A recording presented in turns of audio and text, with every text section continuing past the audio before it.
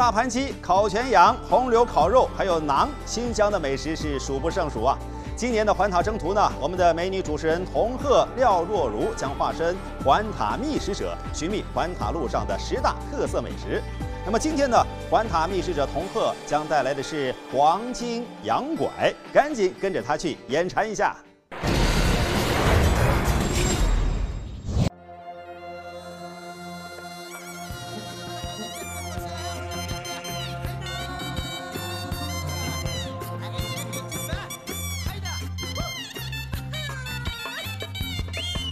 寻味环塔，我是环塔觅食者童鹤。雪山脚下，策马奔腾。那我们今天来到了美丽的天山山脉脚下，当然不仅仅是为了看美景哦，更是为了寻找一道中国丝绸之路的地标美食——黄金羊拐。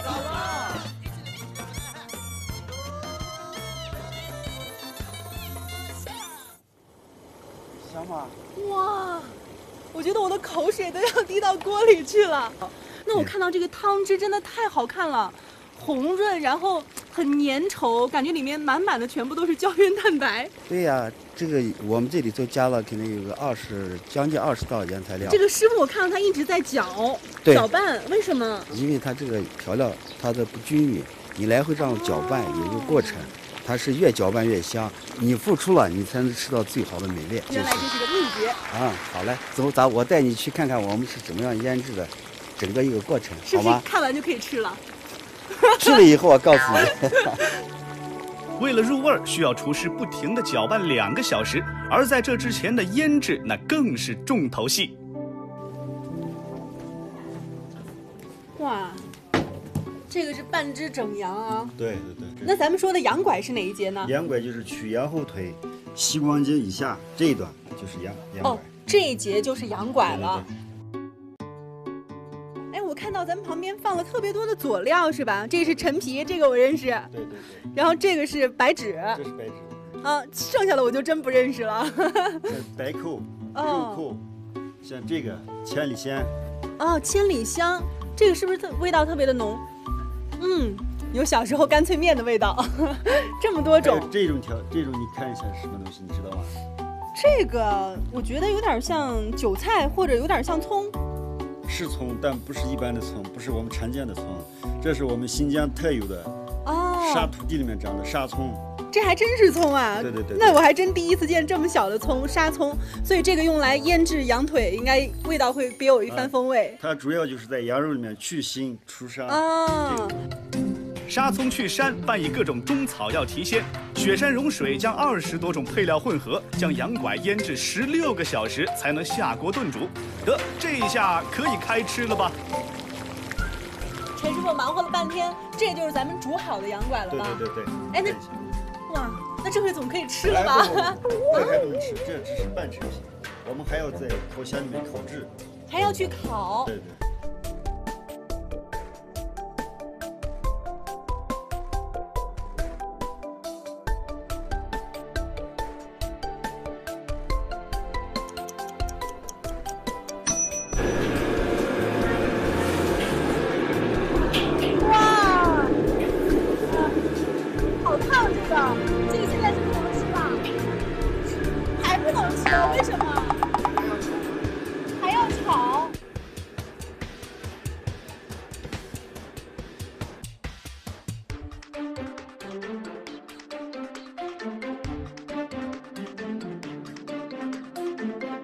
哥，现在可以吃了吗？对呀，现在可以了。终于可以吃了，等了这么久。嗯，什么感觉？太好吃了！